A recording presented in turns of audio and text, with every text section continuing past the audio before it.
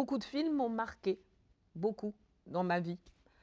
Et euh, le dernier, un des derniers qui m'ont vraiment marqué, euh, un film qui est sorti en 2020, qui s'appelle The Father.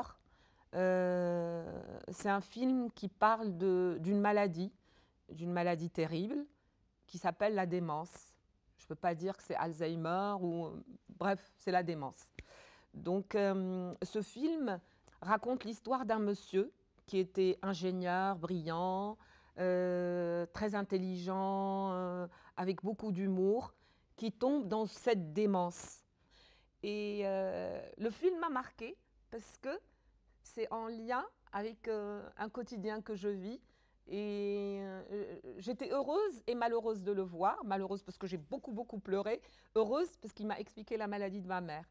Ça n'a pas été expliqué par un médecin, mais par un film, par le vécu de Anthony Hopkins, qui est extraordinaire dans le film. Il est fabuleux par ses gestes, par son regard. Il nous fait comprendre que celui qui est atteint de démence vit avec d'autres gens. Quand il s'énerve, quand il parle, quand il... Euh, tous ces moments qu'on nous, là où on nous montre dans le film, c'est une folie, je sais pas, moi je l'appelle même pas une folie, parce que les gens disent la démence c'est une folie, ce n'est pas une folie, c'est plus fort que ça. on est perdu dans nos souvenirs, entre le présent et le passé. Et euh, grâce à ce film, j'ai compris ça.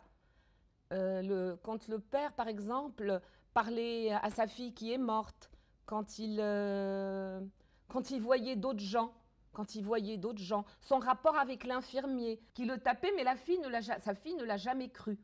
Donc tout ça, pour moi, c'était des moments de douleur de douleur, parce que ça m'expliquait des, trucs que ma mère me disait, mais que je ne comprenais pas. Je me disais, ah, mais elle est devenue folle, c'est pas possible, elle raconte n'importe quoi. Mais grâce au film, j'ai compris que c'était pas du n'importe quoi.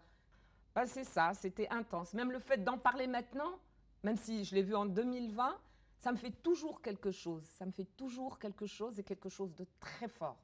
Parce que je le vis toujours, je le vis au quotidien, mais ça m'a rendue forte ce film m'a rendue forte.